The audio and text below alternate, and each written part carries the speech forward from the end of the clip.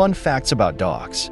Fact number 24. As dogs run faster, their paws come closer together on impact with the ground. So next time you are tracking your runaway pooch, you can determine their speed depending on whether there is four, two, or one paw print left in the soil.